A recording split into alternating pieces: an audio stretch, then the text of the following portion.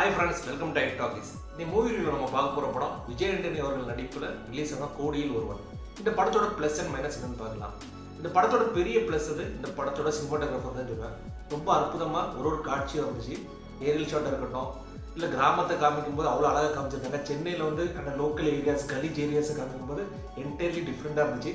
நிறைய different different ஆங்கிளில் வந்து ஒயிட் ஷாட்டில் வச்சு அசத்திருக்காங்கன்னு தான் சொல்லுவோம்.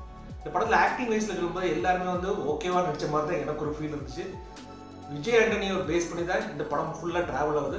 பட் அவரோட எக்ஸ்பிரஷன் படத்தோட ஸ்டார்ட்லேருந்து எண்டோட ஒரே மாதிரி இருக்குது ஈவன் ரொமான்டிக் போர்ஷனில் கூட அவர் ரொம்ப சேடாக நடித்த மாதிரி தான் ஒரு ஃபீல் இருக்குது எந்த இடத்துலையும் அவர் மாற்றலை கொஞ்சம் இன்னும் நல்லா நடிச்சிருக்கலாமோ அப்படின்னு ஒரு ஃபீல் வந்துச்சு. இந்த படத்தில் நடித்த அந்த நடிகையோட நடிப்பு ரொம்ப நல்லாவே இருந்துச்சு.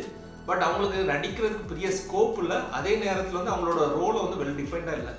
நிறைய பேரோட கேரக்டர்ஸ் இருக்கு. எல்லாருக்குமே அந்த சின்ன சின்ன போர்ஷன் கொடுத்த மாதிரி இருந்துச்சு. நம்ம சில கேரக்டர்ஸ் வந்து கடைசி வரை வருவாங்கன்னு நினைப்போம் பட் வரல.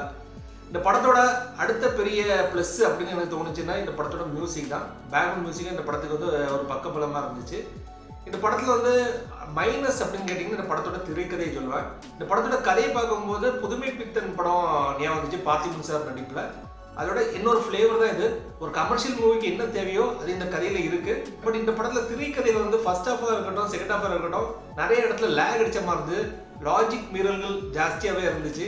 அதை கொஞ்சம் மாற்றி இருந்தா இன்னும் கொஞ்சம் நல்லா இருந்திருக்குமோ அப்படின்னு ஒரு ஃபீல் இருந்துச்சு. மட்டும் இல்லாமல் இந்த படத்துல வந்து ஹீரோ வில்லனோட கான்வர்சேஷன் எல்லாம் டப்பு டப்புன்னு ஃபோன் கால்லேயே முடிஞ்சுது. எந்த இடத்துலையுமே ஒரு மாசான ஒரு எலிமெண்ட் வரலன்னு தான் சொல்ல முடியும். ஸோ மொத்தத்தில் இந்த படம் பார்க்கலாமா பார்க்கலாம் அப்படின்னு கேட்டிங்கன்னா புதுமை விரும்புகிறவங்களுக்கு இந்த படம் பிடிக்கிறதுக்கு வாய்ப்பு இல்லை. கமர்ஷியல் ஆடியன்ஸுக்கு வரும்போது இந்த படம் வந்து ஒரு ஆவரேஜ் ஃபீல் தான் கொடுக்கும்.